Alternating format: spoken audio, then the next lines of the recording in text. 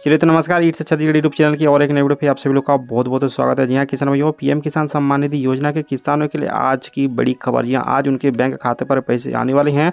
PM Modi किसानों के bank खाते में आज पैसे डालने वाले हैं। वहीं खबर ये भी है कि ऐसे किसान भी हैं जिनके खाता पर पैसा नहीं मिलेगा। तो भाई, पूरी वीडियो पर बने रहिए और नए हैं तो बिल्कुल चैनल को सब्सक्राइब करके रखिए। ऐसे ही अप टू डेट इन्फॉर्मेशन लगातार चैनल के माध्यम से आप लोगों को मिलता रहेगा। जी हाँ किसान भाइयों, खबर आ रही है कि पीएम किसान सम्मान निधि योजना का लाभ देश भर के आठ करोड़ से ज़्यादा लाभार्थियों को सरकार की ओर से दिया जा रहा है।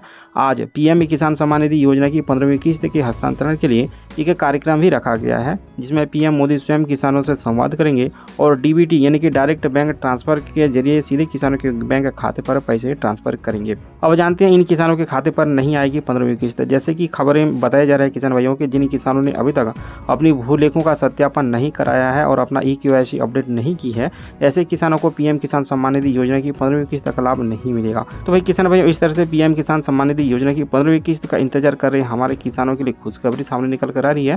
सरकार की ओर से पीएम किसान सम्मान निधि योजना की पंद्रहवीं किस्त का हस्तांतरण की तारीख आज पंद्रह नवंबर आ गया है और भाई कुछ देर के बाद योजना के पैसे भी आप लोगों के खाते पर आने वाले हैं। तो वही इस तरह से खबरें सामने निकल कर आ रही है कि आज दिवाली त्यौहार के बाद पंद्रह नवंबर को किसानों के खाते में प्रधानमंत्री स्वयं ऑनलाइन दो दो हज़ार ट्रांसफ़र करेंगे पीएम किसान सम्मान निधि योजना के तहत किसान भाई योजना से जुड़ी अप टू डेट इन्फॉर्मेशन आगे भी चैनल के माध्यम से हम आप लोगों के साथ जानकारी शेयर करते रहेंगे। तो भाई चैनल को सब्सक्राइब नहीं किए हो तो वीडियो के नीचे लाल रंग का बटन है, क्लिक कर लीजिए चैनल को सब्सक्राइब ज़ोर से करके रखिए, वीडियो को लाइक कर दीजिए और ज़्यादा से ज़्यादा मित्रों तक वीडियो को शेयर भी कर दीजिएगा। मिलती है अगली वीडियो पर और एक नई जानकारी के साथ, तब तक के लिए जय जोहार, नमस्कार।